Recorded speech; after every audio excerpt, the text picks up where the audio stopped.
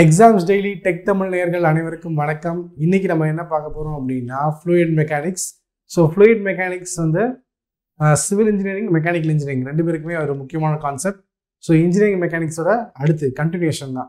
ரைட்டுங்களா so engineering mechanics வந்து rigid body mechanics solid mechanics மாதிரி பார்த்துருந்தோம் ரைட்டுங்களா ஸோ அதுக்கோட நெக்ஸ்ட்டு சாலிடு லிக்யூடு கேஸ் இருக்குல்ல? ஸோ லிக்யூட் லிக்யூடோட மெக்கானிக்ஸ் தான் வந்து ஃப்ளூயிட் மெக்கானிக்ஸ் சரிங்களா? ஸோ ஃப்ளூயிட் பார்த்தீங்க அப்படின்னா ரெண்டாக கே கிளாஸிஃபை பண்ணுறாங்க ஒன்று வந்து லிக்யூடு இன்னொன்று வந்து கேஸ் ஸோ ஃப்ளூயிட் மெக்கானிக்ஸ்னால் என்ன? ஸோ அதை பற்றி நான் தான் பார்க்க போகிறோம் இன்னைக்கு கிளாஸில் ரைட்டுங்களா ஸோ ஃப்ளூயிட் ஃப்ளூயிடோட டெஃபினேஷன் கொடுத்துருக்காங்க.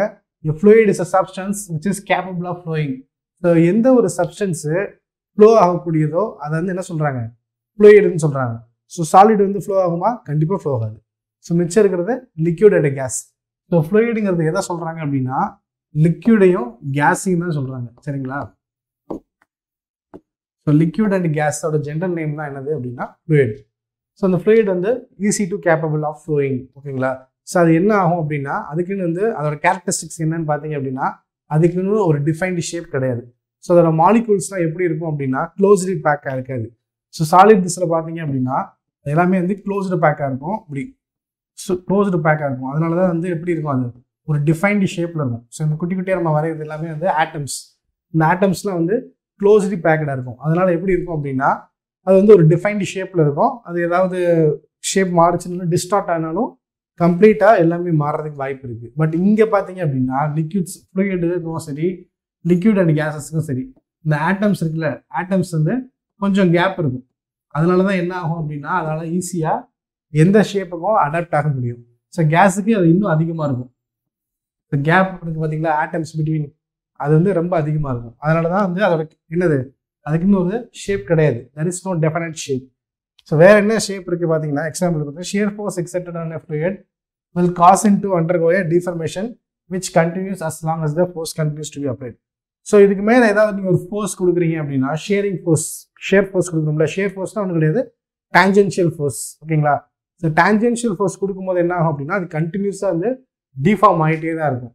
ஃபார் எக்ஸாம்பிள் வந்து ஒரு வாட்டர் பாட்டிலுக்குள்ள வந்து தண்ணியை ஊற்றிருக்கீங்க அது ஒரு ஷேர் ஃபோர்ஸ் ஆக்ட் ஆச்சு அப்படின்னா என்ன ஆகும்? அந்த தண்ணியும் சேர்ந்து பெண்ட் ஆகிட்டே தான் இருக்கும். ஓகேங்களா பாட்டில் ஷேப் எல்லாமே டிஸ்டார்ட் ஆகிட்டே தான் இருக்கும்.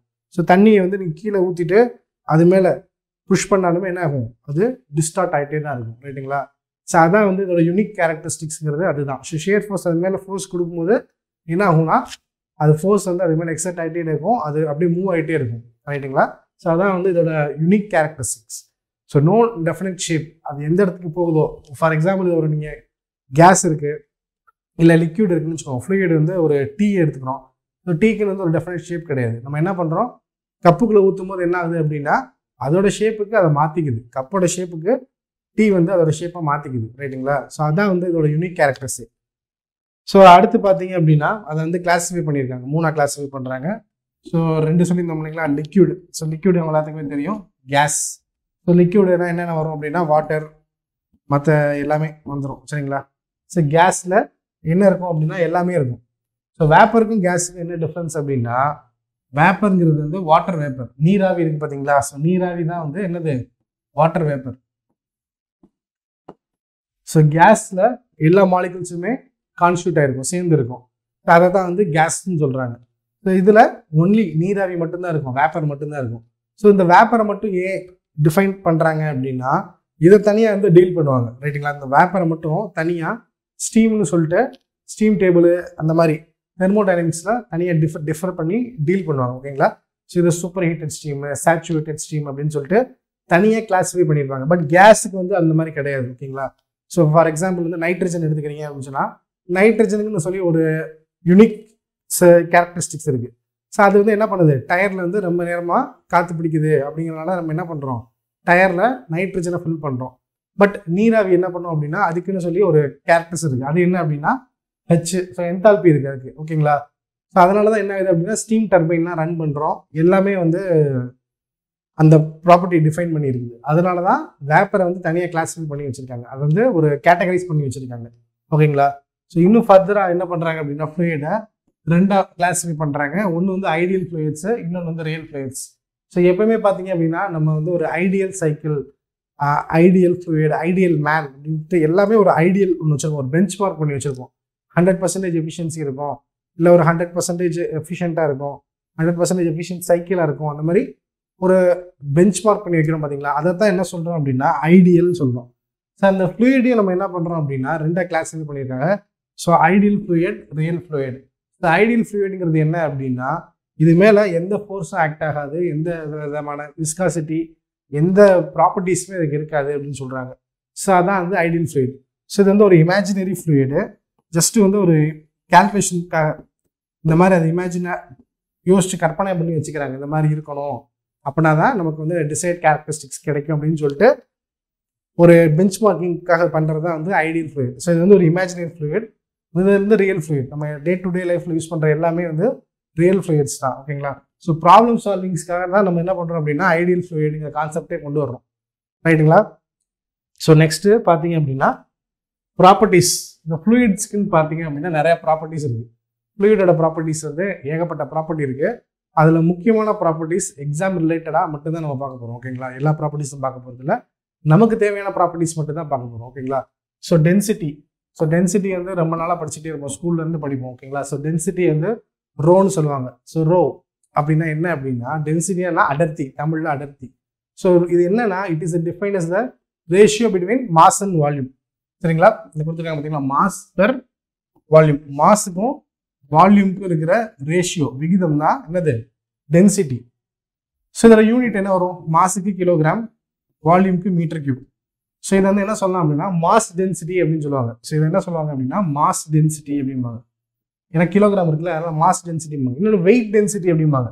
ஸோ வெயிட் டென்சிட்டினா என்ன அப்படின்னா இந்த மாஸ் பர் வால்யூமோட கிராவிட்டியும் ஆக்ட் பண்ணிக்குவாங்க ஸோ அப்போ என்ன ஆயிரும் அப்படின்னா கிலோகிராமோட acceleration due to gravity add ஆச்சுன்னா என்ன ஆயிரும் நியூட்டனாக மாறிடும். So Newton per metre cube so இது மாஸ் டென்சிட்டி இது வெயிட் டென்சிட்டி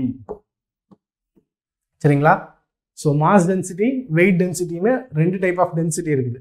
ஸோ ரெண்டில் வந்து எதை வேணாலும் நம்ம எடுத்துக்கலாம். நமக்கு தேவையை பொறுத்து ஓகேங்களா ஸோ நம்ம கால்குலேட் பண்ணும்போதும் இதை வச்சு தான் கால்குலேட் பண்ணுவோம். ஸோ இதோட இன்வெர்ஸ் இதை வச்சு ஒன்று sum செஞ்சுருப்போம். Volume by mass so metre cube per kilogram அப்படின்னு போட்டிருக்கோம். இதை என்ன சொல்லுவாங்க அப்படின்னா ஸ்பெசிஃபிக் வால்யூம் அப்படின்னு சொல்லுவாங்க. ஸோ ஸ்பெசிஃபிக் வால்யூம் அப்படின்னா என்ன அப்படின்னா இதுதான் டென்சிட்டியோட இன்வெர்ஸ் ஸோ டென்சிட்டி டைக்னஸ் என்ன சொல்லுவாங்க அப்படின்னா ஸ்பெசிஃபிக் வால்யூம்னு சொல்லுவாங்க. ஸோ இதெல்லாம் எதுக்கு அப்படின்னா இது எல்லாமே வந்து ஒரு ப்ராப்பர்ட்டிஸ் தான். இது எங்கே யூஸ் பண்ணோம் அப்படின்னா ப்ராப்ளம்ஸில் வந்து உங்களுக்கு யூஸ் ஆகும். ஸோ டென்சிட்டிஸ் அதாவது இந்த ப்ராப்பர்ட்டிஸ் தெரிஞ்சாதான் ப்ராப்ளம் சால்வ் பண்ணும்போது உங்களுக்கு வந்து யூஸ்ஃபுல்லாக இருக்கும். திடீர்னு ஸ்பெசிஃபிக் வால்யூம் கண்டுபிடிங்க அப்படிமா திடீர்னு ஸ்பெசிஃபிக் வெயிட்டை கண்டுபிடிக்க சொல்லுவாங்க. அந்த மாதிரி மாற்றி மாற்றி கேட்பாங்க. ஸோ அது எல்லாமே வந்து இந்த டெஃபினிஷனை தெரிஞ்சால் மட்டும்தான் உங்களால் செம்ம சால்வ் பண்ண முடியும். அதுக்காக தான் நம்ம அதை பார்க்குறோம். ரைட்டுங்களா ஸோ அடுத்த ப்ராப்பர்ட்டி பார்த்தீங்க அப்படின்னா ஸ்பெசிஃபிக் கிராவிட்டி அப்படிம்பாங்க. ஸோ ஸ்பெசிஃபிக் கிராவிட்டி எப்படி டினோட் பண்ணுறாங்க அப்படின்னா எஸ் ஸோ இதை இதோட டெஃபினிஷன் என்ன பார்த்தீங்க அப்படின்னா ஸ்பெசிஃபிக் வெயிட் இருக்குது பார்த்தீங்களா? ஒரு லிக்யூடுக்குன்னு ஒரு ஸ்பெசிஃபிக் வெயிட் இருக்கும். அந்த ஸ்பெசிஃபிக் வெயிட் ஆஃப் த லிக்யூடுக்கும் ஸ்டாண்டர்ட் ஃப்ளூயிடுக்கும் இருக்கிற ரேஷியோ ஸோ ஸ்டாண்டர்ட் ஃப்ளூயிடுங்கிறது என்ன அப்படின்னா வாட்டர் தான். ஸோ வாட்டர் வந்து ஹண்ட்ரட் டிகிரி செல்சியஸில் sorry water at four degree Celsius இப்போ நாலு டிகிரி செல்சியஸில் வந்து வாட்டர் எப்படி இருக்கும் அப்படின்னா தௌசண்ட் கிலோகிராம் இருக்கும். Thousand kilogram per metre cube அதான் வந்து டென்சிட்டி வாட்டரோட டென்சிட்டி வந்து thousand KG per metre cube சொல்கிறோம்ல அது நாலு டிகிரி செல்சியஸில் தான். ஸோ அந்த சப்ஸ்டன்ஸுக்கும் வேறு ஏதோ சப்ஸ்டன்ஸ் ஃபார் எக்ஸாம்பிள் வந்து ஸ்பெசிஃபிக் கிராவிட்டி ஆஃப் மெர்க்குரி எடுக்கிறோம்னு வச்சுக்கோங்களேன். ஸோ டென்சிட்டி ஆஃப் மெர்க்குரி பார்த்தீங்க அப்படின்னா தேர்ட்டீன் தௌசண்ட் சிக்ஸ் ஹண்ட்ரட் சரிங்களா? So density of standard substance என்னது? வாட்டரு ஸோ வாட்டருக்கு தௌசண்ட் ஸோ இது ரெண்டுக்கு இருக்கிற ரேஷியோ என்ன வரும்? Thirteen point six specific gravity of mercury இல்லாட்டி ஸ்பெசிஃபிக் கிராவிட்டி ஆஃப் ஏதோ ஒரு சப்ஸ்டன்ஸ் வந்து இப்படி கொடுத்துருப்பாங்க. ஒரு நம்பர் மாதிரி கொடுத்துருப்பாங்க. அதுக்கு யூனிட் எதுவுமே கிடையாது. ஏன்னா ரெண்டுமே என்ன ஆயிரும்? Kilogram per metre cube kilogram per metre cube cancel ஆயிரும். ரேஷியோ ரெண்டுமே ஒரே யூனிட்டுக்குனால கேன்சல் ஆயிரும். நோ யூனிட் சரிங்களா? ஸ்பெசிஃபிக் கிராவிட்டிக்கு எந்த யூனிட்டுமே கிடையாது. இது just it's a ratio between ரெண்டு டென்சிட்டி அந்த density of a particular substance by the density of standard substance so standard substance என்ன அப்படின்னா வாட்டர் கேஸுக்கு பார்த்தீங்கன்னா ஏர் ஓகேங்களா ஸோ ஃப்ளூயிட் மெக்கானிக்ஸில் வாட்டர் இல்லாட்டி ஏர் ரெண்டில் ஏதாவது ஒன்று நம்ம யூஸ் பண்ணுவோம். சரிங்களா? அதை பார்த்துக்கோங்க. So but specific gravity of water என்னவா இருக்கும்? So thousand by thousand so ஒன்று சரிங்களா? வாட்டரோட specific gravity thousand one sorry specific gravity one ஓகேங்களா ஸோ இதான் வந்து ஸ்பெசிஃபிக் கிராவிட்டி ஸோ அடுத்து நெக்ஸ்ட் பார்த்தீங்க அப்படின்னா விஸ்காசிட்டி ஸோ இது ஒரு முக்கியமான ப்ராப்பர்ட்டி நியூட்டன்ஸ் லா ஆஃப் விஸ்காசிட்டின்னு சொல்லிட்டு தனியாக ஒரு வீடியோ நம்ம பார்க்கலாம். ஸோ அதில் வந்து என்ன பண்ணுவோம் அப்படின்னா இந்த நியூட்டன்ஸோட லா வச்சு என்ன பண்ணுறோம் அப்படின்னா விஸ்காசிட்டியை டிஃபைன் பண்ணுவோம். அதுக்கடுத்து என்ன பண்ணுவோம் அப்படின்னா இந்த ஃப்ளூயிடையும் கிளாஸிஃபை பண்ணுவோம். நிறைய டைப்ஸ் ஆஃப் லிக்விட்ஸ் எப்படி கிளாஸிஃபை ஆகுது ரியல் என்னது அது எல்லாமே வந்து நம்ம அடுத்த ஒரு வீடியோவில் பார்க்கலாம். சரிங்களா? ஸோ நியூட்டன்ஸ் லா ஆஃப் விஸ்காசிட்டின்னு தனியாக ஒரு வீடியோ பார்ப்போம். ஜஸ்ட் இப்போதைக்கு விஸ்காசிட்டினா என்னன்னு மட்டும் தெரிஞ்சுக்கோங்க சரிங்களா? ஸோ விஸ்காசிட்டினா என்ன அப்படின்னா நம்ம ஒரு தேன் எடுத்து ஊற்றுறோம் கீழே. ஸோ அது எப்படி எப்படி போகும்? ஃப்ளோ ஆகும் பாருங்கள் அதே தண்ணி எடுத்து நீங்கள் கீழே ஊற்றி விட்றீங்க அது எப்படி வேகமாக போகுது? அதுதான் வந்து என்னது? விஸ்காசிட்டி ஸோ தண்ணிக்கு பார்த்தீங்க அப்படின்னா விஸ்காசிட்டி கம்மி. அதனால தான் அது வந்து ஈஸியாக ஃப்ளோ ஆகுது. ஆனால் தேனுக்கு விஸ்காசிட்டி ரொம்ப அதிகம். அதனால தான் என்ன ஆகுது? அதனால் போக முடியல ஓகேங்களா? ஸோ அது என்ன சொல்கிறாங்க பாருங்கள் viscosity may be is the property of fluid which determines its resistance to shearing stress இல்லை என்ன சொல்கிறாங்கன்னா internal fluid friction which causes resistance to flow சொன்னோம் இல்லைங்களா? எவ்வளோ ரெசிஸ்டன்ஸ் கொடுக்குது? ஸோ ஒவ்வொரு சப்ஸ்டன்ஸுக்கும் வந்து விஸ்காசிட்டி பார்த்தீங்கன்னா ஒவ்வொரு மாதிரி இருக்கும். ஸோ இந்த விஸ்காசிட்டி வந்து டெம்பரேச்சரை ப்ரெஷரை பொறுத்து நிறைய வேரியேஷன்ஸும் இருக்குது. ஓகேங்களா ஸோ அதெல்லாம் வந்து நம்ம எக்ஸ்பெரிமெண்ட்டில் செஞ்சு பார்க்கலாம். சரியா? ஸோ இந்த ஷியரிங் விஸ்காசிட்டினா என்ன அப்படின்னா shearing stress offered by the liquid நீங்கள் வந்து ஒரு ஒவ்வொரு லிக்யூடுக்கும் ஒவ்வொரு மாதிரி இருக்கும். தண்ணிக்கும் தேனுக்கும் இருக்கிற டிஃப்ரென்ஸ் மாதிரி ஒவ்வொரு சப்ஸ்டன்ஸுக்கும் ஃபார் எக்ஸாம்பிள் ஒரு ஹைட்ராலிக் ஆயிலாக இருக்கலாம் இல்லை ஒரு இன்ஜின் ஆயிலாக இருக்கலாம். இல்லாட்டி நம்ம நார்மலாக டே டு டே லைஃப்பில் யூஸ் பண்ணுறோம்ல குக்கிங் ஆயில் ஸோ அந்த குக்கிங் ஆயிலுக்கும் இந்த இன்ஜின் ஆயிலுக்கும் இருக்கிற விஸ்காசிட்டியோட லெவலும் வந்து வேரி ஆகும். சரிங்களா? ஸோ ஒவ்வொரு சப்ஸ்டன்ஸுக்குமே ஒவ்வொரு ஃப்ளூயிடுக்குமே பார்த்தீங்க அப்படின்னா விஸ்காசிட்டி வேரி ஆகிட்டே தான் இருக்கும். சரிங்களா? அந்த விஸ்காசிட்டி அவரோட டெஃபினிஷன் வந்து வேற பார்த்தீங்கன்னா கைனமெட்டிக் விஸ்காசிட்டி டைனமிக் விஸ்காசிட்டின்னு ரெண்டு விஸ்காசிட்டி இருக்கு. ஓகேங்களா ஸோ இதோட யூனிட் பார்த்தீங்க அப்படின்னா பாஸ்கல் செகண்ட் பாஸ்கல் செகண்டு இல்லாட்டி ஸ்ட்ரோக்ஸு அந்த மாதிரி நிறையா யூனிட்ஸ் இருக்கு. ஓகேங்களா இந்த சென்டி ஸ்ட்ரோக்கு பாஸ்கல் செகண்ட் அந்த மாதிரி. பாஸ்கல் செகண்ட் என்னது? Newton second per metre square அப்படிம்பாங்க. சரிங்களா? ஸோ இந்த இதை யூஸ் பண்ணுவாங்க. பார்த்துக்கோங்க. ஸோ நெக்ஸ்ட்டு பார்த்தீங்க அப்படின்னா சர்ஃபேஸ் டென்ஷன் ஸோ சர்ஃபேஸ் டென்ஷனோட எக்ஸாம்பிள் பெஸ்ட் எக்ஸாம்பிள் என்ன அப்படின்னா ஸோ ஒரு தண்ணி இருக்குது அந்த தண்ணி மேலே என்ன ஆகுது? ஒரு கொசு வந்து நடந்து போகும் ரைட்டுங்களா ஸோ எதனால் நடந்து போகுது அப்படின்னா அதுக்கு மேலே அந்த கொசுவால் எக்ஸர்ட் பண்ணக்கூடிய ஃபோர்ஸ் இருக்குது பார்த்தீங்களா அது இனவாக இருக்குது அதிகமாக இருக்குது தண்ணியை விட அதிகமாக இருக்குது அதனால தான் அது வந்து என்னது? மிதக்குது. ஆனால் நம்ம வந்து நம்மளால் வந்து மிதக்க முடியாது. ஃபார் எக்ஸாம்பிள் ஒரு தண்ணி இருக்குன்னு வச்சுக்கோங்களேன். தண்ணி மேலே நம்ம நிற்கிறோம் அப்படின்னா என்ன ஆயிரும்? நம்ம உள்ளே போயிடுவோம் ரைட்டுங்களா ஆனால் நம்ம ஒரு பர்டிகுலர் ஸ்பீடில் ஓடுறோம்னு வச்சுக்கோங்களேன் ஒரு எயிட்டி மைல்ஸ் பர் ஹவர் அந்த ஸ்பீடில் நம்ம ரன் ஆகிறோம் அப்படின்னா நம்மளால் தண்ணியில் வந்து நம்மளால் ஓட முடியும். பட் அவ்வளோ ஸ்பீடில் நம்மளால் கண்டிப்பாக ரன் பண்ணவே முடியாது. சீட்டாஸால் ரன் பண்ண முடியும். ஸோ ஒவ்வொரு அனிமல்ஸுக்கும் அதோட ஸ்பீடு வந்து வேரி ஆகும். பெஸ்ட் எக்ஸாம்பிள் பார்த்தீங்க அப்படின்னா ஸ்டோன் இருக்குது பார்த்தீங்களா? கல்லை வந்து தூக்கி நம்ம ஒரு தண்ணி மேலே குளத்துக்கு மேலே எரிஞ்சோம் அப்படின்னா என்ன ஆகும்? அது அப்படியே இப்படி பட்டு பட்டு பட்டு போகும். ரைட்டுங்களா ஸோ அது வந்து என்னது? சர்ஃபேஸ் டென்ஷனால தான் அது வந்து போக முடியுது. வேறு சர்ஃபேஸ் டென்ஷனோட எக்ஸாம்பிள்ஸ் பார்த்தீங்கன்னா நம்ம ஒரு சூப் சயின்ஸ்னு ஒரு வீடியோ போட்டிருந்தோம். அதில் போய் பாருங்கள் தெரியும். ஸோ இது வேற இதுதான் பெஸ்ட் எக்ஸாம்பிள் ஓகேங்களா? நம்மளாலேயும் வந்து சர்ஃபேஸ் டென்ஷனை மீறி போக முடியும். பட் நம்மளால் அவ்வளோ ஸ்பீடுக்கு நடக்க முடியாது. இப்போ ப்ராக்டிக்கலி இம்பாசிபிள் அதனால தான் நம்ம என்ன பண்ணிடுறோம்? தண்ணிக்குள்ளே போய் முழுங்கிடுறோம். ஆனால் கொசு சின்ன சின்ன அனிமல்ஸ்லாம் இருக்குது பார்த்தீங்களா? கொசு சின்ன சின்ன பாச்சா அந்த மாதிரி அனிமல்ஸ்லாம் என்ன ஆகும் அப்படின்னா இன்செக்ட்ஸ்லாம் என்ன ஆகும் அப்படின்னா அதனால போக முடியும். ஸோ பள்ளியே சில பள்ளிகள் வந்து தண்ணி மேலே மிதக்கும். சில பள்ளி உள்ளே போயிடும் ஓகேங்களா? ஸோ அது டிபெண்ட்ஸ் ஆன் அந்த ஃபோர்ஸ் எக்ஸெப்ட் பண்ணுறது தான் சர்ஃபேஸ் டென்ஷனோட யூனிட் பார்த்தீங்க அப்படின்னா newton per metre so force excepted by unit length so அந்த பர்டிகுலர் லென்த்தில் எவ்வளோ ஃபோர்ஸ் எக்ஸெப்ட் பண்ணுது அந்த பர்டிகுலர் ஆர்கனிசம் தான் வந்து என்னது? சர்ஃபேஸ் டென்ஷன் ஸோ அதெல்லாம் டிஃபைன் பண்ணியிருக்காங்க. Surface tension is the tension of the surface film of a liquid caused by attraction of the particles in the surface layer by the bulk of the liquid which tends to minimize surface area. So surface ஏரியாவை பொறுத்து அது என்ன ஆகுது அப்படிங்கிறத கொடுக்குறாங்க. ரைட்டுங்களா so surface tension பட example applications எல்லாம் பார்த்துட்டோம். ஸோ சர்ஃபேஸ் டென்ஷனோட பெஸ்ட் எக்ஸாம்பிள் பார்க்கணும் அப்படின்னா சூப் சயின்ஸ் நம்ம ஒரு ஷார்ட்ஸ் போட்டிருக்கோம். அதில் பாருங்க இன்னும் நல்லா டிஃபைன் டிஃபைன் பண்ணியிருப்போம். ரைட்டுங்களா ஸோ லாஸ்ட் ஸோ லாஸ்ட் பார்த்தீங்க அப்படின்னா கேபிலாரிட்டி ஸோ கேபிலாரிட்டி ரைஸ் அப்படின்னு சொல்லி பார்த்துருப்பீங்க. ஸோ கேபிலாரிட்டி ரைஸ் என்ன அப்படின்னா தெர்மோமீட்டர்லாம் வந்து ரைஸ் ஆகுது பார்த்தீங்களா? தெர்மோமீட்டர் ரைஸ் ஆகுது. இல்லை அப்படின்னா ஒரு டியூப் இருக்குது அந்த டியூப் எடுத்துகிட்டு போய் நீங்கள் தண்ணிக்குள்ளே வைக்கிறீங்க. ஸோ வைக்கும் போது என்ன ஆகுது? அது ரைஸ் ஆகி அது எவ்வளோ லெவலில் இருக்குது அப்படின்னு சொல்லி அந்த வாட்டர் டியூப்ல தெரியுது இல்லைங்களா? ஸோ ஒரு தண்ணி இருக்குது அதுக்குள்ளே நீங்கள் ஒரு டியூப் வைக்கிறீங்க சரிங்களா ஸோ டியூப் வைக்கிறீங்க. வைக்கும்போது என்ன ஆகும்? இது லெவல் ஏறி தெரியும். ஸோ இதை தான் என்ன சொல்கிறாங்க அப்படின்னா கேபிலாரிட்டி ரைஸ் அப்படிங்கிறாங்க.